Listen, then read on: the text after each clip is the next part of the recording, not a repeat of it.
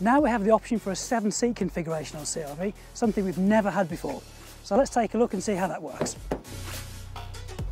First of all, we need to lower the seat back. That will come to this position. Then we will lift up the seat base. We're going to lock that into position with this little strap down here before we move to the back of the car. Very simply at the back we grab these two straps, that will put it into the upright position. If you want a more reclined position, you will just pull those to that position there. Head restraints up, and now our rear seat passengers can gain access.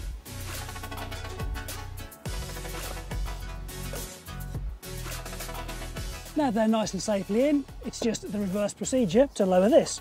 Retaining strap off, seat base goes down, and then seat back up, and we're good to go.